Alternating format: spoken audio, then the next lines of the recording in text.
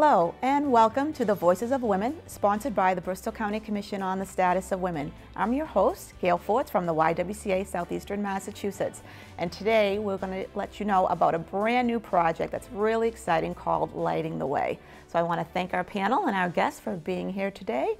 That will introduce themselves and we'll talk a little bit about the project. So Sarah, if we could start with Thanks, you. Thanks, Gail. I'm Sarah Rose, Vice President of Education and Programs at the New Bedford Whaling Museum. Thank you, Sarah, for being here. Um, Chrissie Bascom, volunteer in, for various New Bedford organizations and um, obsessed by women's roles. You, and I'm Ann O'Leary. I'm the Emily Bourne Fellow uh, at the Whaling Museum. The Emily Bourne Fellow is a, uh, a, research position that is at the Whaling Museum in honor of Emily Bourne, who actually donated the Jonathan Bourne building and the Lagoda to the Whaling uh, Museum. So I'm the lead researcher for the project. Okay, great. Well, thank you all for taking time to be with us here today to talk about the project. So, Sarah, could you introduce what it is that you're doing, and then we can go into Chrissie about where this great idea came from and what inspired you to do that? Absolutely. The New Bedford Whaling Museum is spearheading a project that will look at the impact of women from the South Coast over time. It's called Lighting the Way Historic Women of the South Coast. This summer, we'll launch a walking trail in the downtown district. It will start at the Whaling Museum, but it will go as far um, uptown as the Rotch Jones Duff House, over mm -hmm. to the Nathaniel and Polly Johnson House, the birthplace of Hetty Green, and then back down to the Seamen's Bethel. Visitors will be able to pick up a map at the Whaling Museum and the National Park and other places that will have information about the women who are on the trail. There'll mm -hmm. be about 25 of them as well as information about the historic sites. We'll also have an app that will be GPS um, activated. So as you're walking along the route, it will bring up information about the women and also be supported with video and audio. The idea is that we want this project to be really attractive to all generations mm -hmm. so mm-hmm. that right. people will access it however they would like to. Oh, wow, that's Amazing. Sounds the, like a big um, project. project also will have a website that um, visitors will be able to use, and that will have lots more information about the project, about the organizations involved in the project, as well as um, many, many more women from the entire South Coast area. The real emphasis of the project is um, introducing curriculum into the New Bedford schools and schools in the area to really think about ways to amplify history by including stories of women. Mm -hmm. We're really hopeful that when teachers are talking about Frederick Douglass, they're also talking about Martha Bailey Briggs. Uh, Martha Bailey Briggs was one of the first African Americans to graduate from the New Bedford High School. Mm -hmm. And in 1866, she led 40 teachers to the South to teach freed African American children. We're also hoping when they talk about Henry Huddleston Rogers that they're also talking about Hetty Green. Hetty Green was known as the Witch of Wall Street. Mm -hmm. She was the wealthiest woman in the world when she um, died, uh, um, uh, giving away over $100 million to her children. All of this leads up to 2020, which is the 100th anniversary of the ratification of uh, women's right to vote, the 19th Amendment, and the project will unveil uh, public art within the city to mm. show the effect um, of the amplification of women. The only criteria for being included in the project is that you um, that the that the person profiled has had a significant impact in the area and that they're historic. They are no longer living. Okay. We put out a call for names um, using multiple sources: radio, newspapers, letters to community organizations, and churches. And so we have a diverse list of about 80 people, and we're still looking for more. Okay. Um, the idea really came to us through Chrissie Bascom, and I'll let turn it over to her to talk a little bit about how we how we got started. How we got started. Well, it was an, it was sort of a dream of mine for a long time, mm -hmm. and my interest in women's contributions to history goes back some time. Um, being a founder of the one of the founders of the our sister school and also the Women's Fund. Um, and I wondered where the stories of these women were, and, and um, so much of New Bedford right now is, is, is run by women. And um, certainly a lot of it was run by women when men were off whaling. Um, so I um, started delving into it and trying to get people to write a book about it, and nobody was interested. And then I read Down at the Docks, which was a book about the uh, New Bedford whaling, uh, excuse me, fishing industry that had this curious little chapter in it called the Petticoat Society. And Toby Baker and I got obsessed about finding out about the Petticoat Society, which was um, maybe a bit apocryphal, but it was a group of women in um, Nantucket who ran the island while the men were off whaling. And because of the uh, War of 1812, the the whaling industry moved to New Bedford, and so did the Petticoat Society. And allegedly, the author interviewed the last secretary of the Petticoat Society. Um, so we started with the idea of a book, and really found out that we wanted something much more interactive and um, diverse. And so this is really a community um, partnership. Uh, we've assembled 30, at least 30 women, and probably more, um, again, in this um, desire to amplify history. And um, I, I, I've got a lot of quotes from Time magazine, who has who've really been following this rise of women's prominence in the world. And one of the ones that sticks in my mind is if you can't see it, you can't be it. And we need to see more women represented both in history books and uh, names of streets, buildings, statues, wall art. And um, this is from the latest edition it's, of Time. It said, We want people to feel comfortable with women's names and images as much as we are with men's names and recognize that they are of equal importance. So Wow, we want we we want to find all about the stories of these women, and that's why we have our Emily Bourne Fellow. Oh, great. Yes. Well, thank you So- for doing that. That's Okay. really, really Wow. wonderful Oh, to have that. the most important part, I forgot. This was a dream. And I did try to convince people to do it. And finally, I had lunch with James Russell and Sarah Rose. And they said, sure, let's do it. All right. Well, that's great. Well, that's wonderful. Whaling Museum most to important help part, yeah. with that. It's perfect. Perfect. So, Ann, you're working on this project as a fellow. So, why don't you Yes. tell us how exciting I'm sure this must sure. be for you. This is this is such an honor and a privilege to uh, work on this project with Chrissie and Sarah and ten other uh, researchers as well, along with an Mm-hmm. editor. Um, but we've brought about three Dartmouth women who have been included and completed uh, for the project. So I We'll give you a little sneak peek. Uh, we're going to give you a sneak peek. All right, great. And uh, the first is Kathleen Ryan Comiskey Roberts, who actually wrote a children's history of Dartmouth that is still used today in the Dartmouth Public Schools.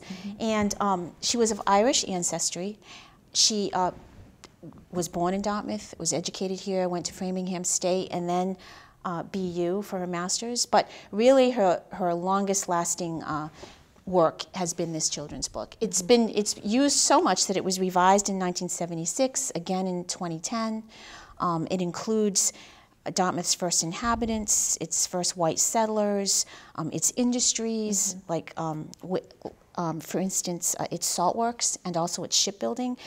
And the really beautiful thing about Kathleen, Kathleen Ryan Comiskey was that she included 11 students as illustrators, and they're all named on the first page. So, Well, what a great. Testament to this woman that she had such relationships with her students that she included them in, in her first book. And she went on, uh, she taught in Dartmouth for 20 years, then she moved on to Raynham. Uh, but she was also a labor leader in teachers' unions, in the Dartmouth Teachers Union, in the Raynham Teachers Union. So um, this was a community, um, a, a community member recommended uh, this woman, and it was such a wonderful addition to this project. So when you do it, give like a little sample. So you'd be writing something about her, and then someone would be able to see something relative to her, either on the website or through Yes, on the website. She will be featured on the website, Okay. whereas there is no location to link with uh, link her to the see. downtown location. Okay. But she's definitely going to be um, on the website, and her profile is already completed. Oh, and Maybe I can just interject on the app. If you're in Dartmouth and you're mm-hmm. interested to know about women in Dartmouth, you'll be able to go in, and because it's GPS activated, it will Oh, pull up the women that are included in the project. So while there isn't a formal walking trail in Dartmouth planned mm-hmm. as of yet, we'll still have Dartmouth women as part of the app. Okay, well that's good to know for people that want Well, to be this is to going to be in, invaluable to historical societies and um, you know just all the of all the towns around here. Absolutely, because I know that there's similar trails in Boston, Yeah. New York that you based and went Mm-hmm. to look at to kind of see how they do, how they have their trails and how it interacts with people, whether not just people from here but from other communities Mm-hmm. to be able to do that. Yes. So that's that's really great that people would be able to do that and be able to Mm-hmm. now will they be able to sort on the website if they're looking for someone in particular and find where to find them? It will be listed by um, time period, um, occupation, ethnic background. So there'll be all sorts of ways that you can access the information. So if you're looking at for just a time period, if you only want to know about the 1860s, you can sort that way. There will be lots of um, those capabilities within be the able site. to do that. So there'll be how many total? 'cause I know you mentioned 80 originally and looking at 25, or is it open ended? You're still collecting names? So there's currently 45 45 are completed. are Okay. completed. There's about 80 on the list. 80 on the list. And the list will just continue to grow, and we'll um, continue to work on names. Some of the women are more difficult to research. There just isn't a lot of primary information. source information. So this spring, we'll have two UMass Dartmouth students who will be working to go, and Ann stemmed some of this as well, to work on oral family histories and to Mm-hmm. go out and meet with people's families to try and get more information on Oh, okay. some So of the that's women great in to be able to do that. in the in the project.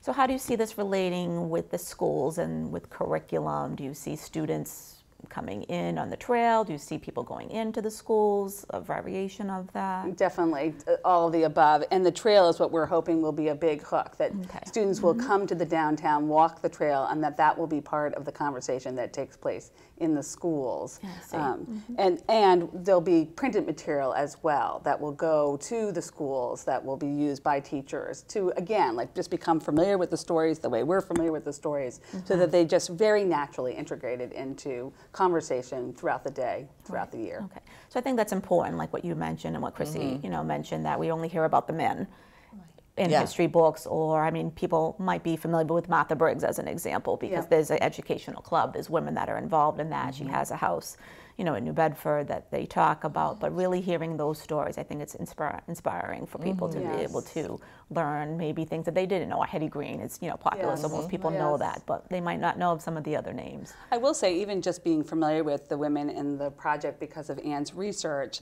I find inspiration. I'll Mm. be thinking, oh, well, what would you know Martha Bailey Briggs do in this kitchen? the other part I find Right. really fascinating is to think about Martha Bailey Briggs, who was really involved with.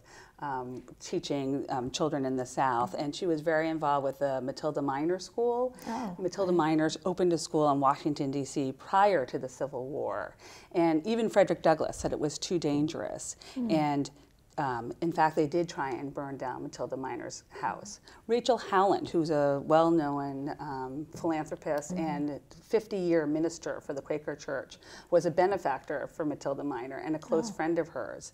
But Martha Bailey Briggs, when she was teaching in Newport, Rhode Island, and that's really where she became known to people as being this really dynamic teacher um, she was working for George Downing, who didn't want his kids sent to a segregated school. Martha, uh, sorry, um, Matilda Miner called on Martha Bailey Briggs to come and teach at her school. Her father, Martha Bailey Briggs' father, thought it was too dangerous, so she ended up not going. Oh. But it occurs to me that it may be Rachel Howland, Martha Bailey Briggs, two women living in the same community, that it may have been Rachel Howland who had said to, to mm. Matilda hmm. Miner, you should call on Martha Bailey Briggs. So these Right. connections between these, you know, disparate groups in New Bedford that come together for these incredible causes. I mean, mm-hmm. the amount of benevolence in New Bedford in the 19th century is really extraordinary. So as we tie true. these Tie the- links together, it will be really fascinating to see what we come up with. And it's great. I end up, you know, relating to people that I didn't, didn't know all that well because of this project, uh, finding out relatives of theirs, or they'll say, "Oh, I have a, you know, my aunt did something," um, or I just Right. found out that the uh, friend of mine's. Uh, grandmother or great grandmother wrote uh, Stella Dallas and Now Voyagers. Um, and and um, so we, it's fun to research her, and it is great to read Ann's profiles. It's really They are. inspiring. They really are, they are, the ones that I've read are very inspiring. And very and. I just can imagine that the, the girls of New Bedford and the boys will gain so much um, sense of possibility Mm-hmm. um, that these women fr- women from New Bedford were so successful, and Mm-hmm. they run from being confectioners to you know, Sister sailors. Sister, Sister sister, oh. God, I can't forget Yep. that. Yeah, sister Union, sailors. union labor organizers. Yeah, Um, yeah, philanthropists. um, all sorts what of things. All sorts. that? Yeah. Yeah, yeah. educators, Yeah. educators. Yeah. Yeah. Right. I mean, you know, you just didn't hear those stories. People weren't talking Yeah. about it. You know, women just, as they always do, Right. a lot of times they just do their work. Yeah. Right. They're not looking for accolades. They run, you know, under the radar screen, Mm-hmm. and you know, we're not hearing that. So I think to celebrate those stories, get them out to the public, Yes. is, is so important because I think you know we're all going to learn something about the women, like you said, even the women that we Yes. know. Yeah. You know, Yeah. by hearing these stories, and I think it's really, really great. Um, Ian, anything else that you're, Yes. you, well, these we stories? have a second Dartmouth oh, woman. please tell us about her. Jenny Horn, um, who was an activist, a true activist in the 60s, um, African American and Cape Verdean descent. And she actually was born in Dartmouth, graduated from Dartmouth High School, married um, an army lieutenant, and went to Germany for some time. And already the activism started in Germany because she um, started youth groups for U.S. soldiers' uh, children and also German children. But when she returned, she actually settled in New Bedford. So here's an, ex- an example of a Dartmouth woman who settled in New Bedford and really gave to New Bedford as a foot soldier in the war on poverty programs. She worked for Onboard, She worked her way up um, in Onboard, which actually was a um, um, anti-poverty community action agency that administered um, the the funds for the federal uh, programs at the time in the 60s. So um, she actually worked her way up from being a secretary for On Board and then a contact worker, which meant she did the interviewing and the uh, making sure that that, um, that the funds were used appropriately for the, the for right people. And then she became the director of one of the neighborhood centers of On Board for the uh, West Central Community Center.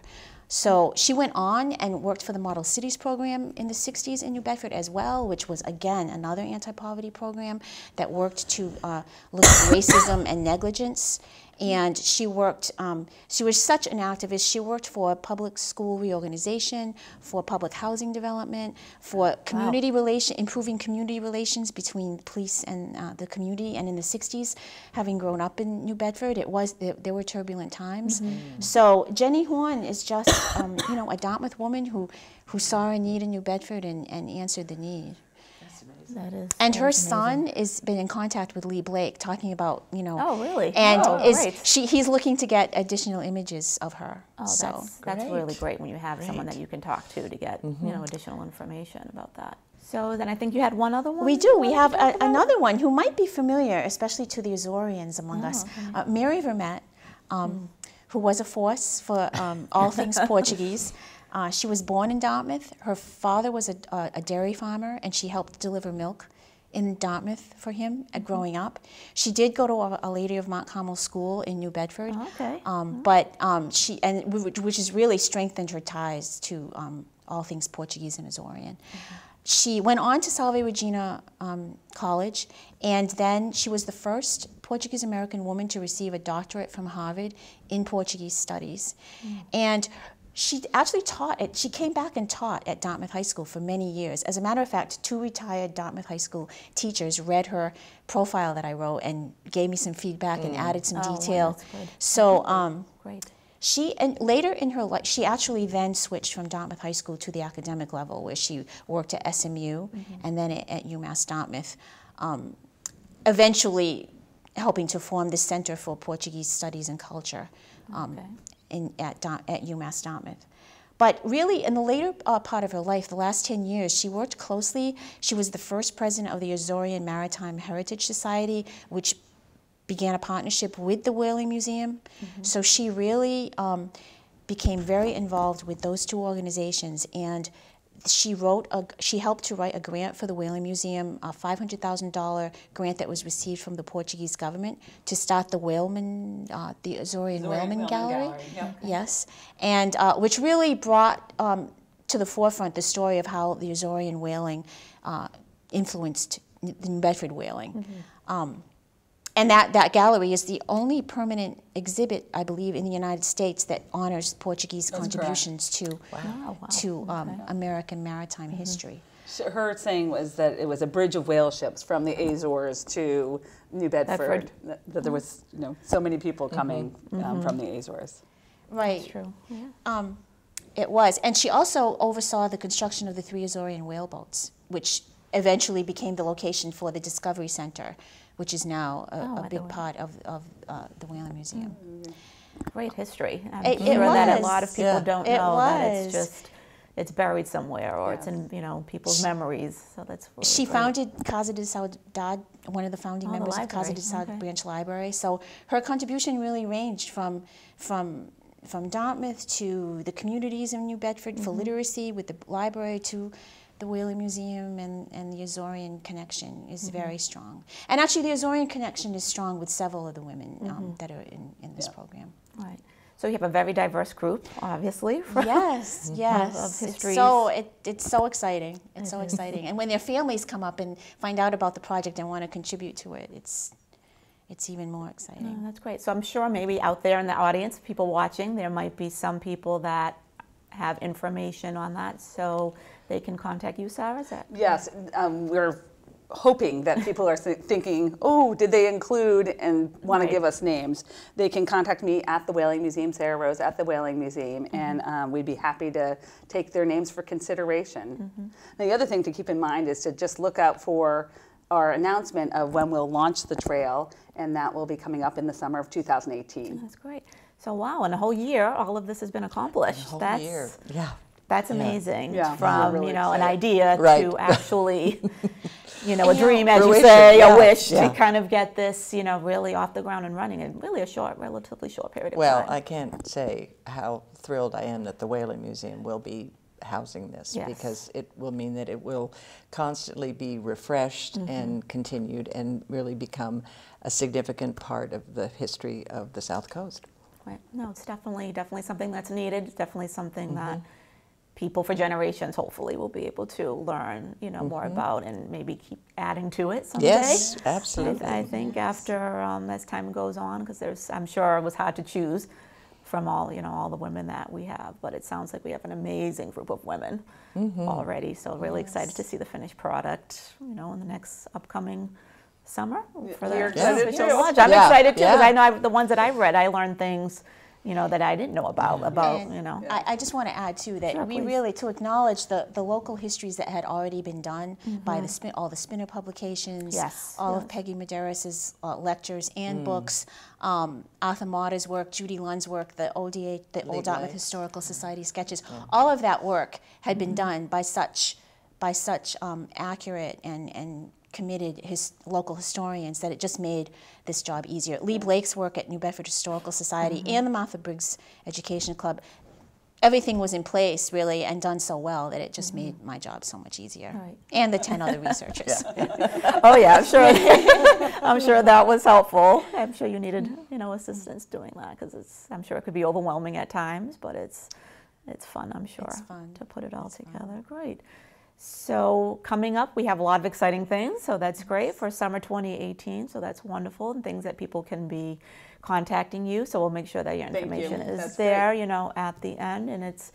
It's really, really exciting project. So mm-hmm. thank you all, you know, for being here. Thank you for putting this idea together because I think it's it's so important because it's you know we don't want to be an afterthought all the time. You know, what about the women like we Right. did with our Yeah. sister school? What about the girls? That's Yeah. how that started. Yeah. Was what about Yeah, the girls? what about the girls? So it's kind of the same thing. So that it's it's just happening because you know as you said, you know women are there now where you know finally Mm-hmm. i think being heard our voices are heard and you know every day you turn around you hear different things for a variety of reasons Mm-hmm. you know about women so i think to have this you know even though this kind of came on beforehand the timing i think is perfect Very true. to to get this out there and not only for the girls and women but for everybody in our community Yes. as well as you know other communities you know in our area so And the hope is that it will be an integrated history, that um, it will not stand on its own, but really be part of a bigger story. Right, absolutely. So it's it's great work. I think it's a great inspiration for everyone out there. And you know, anything else that you want anybody to know about anything you have coming up, or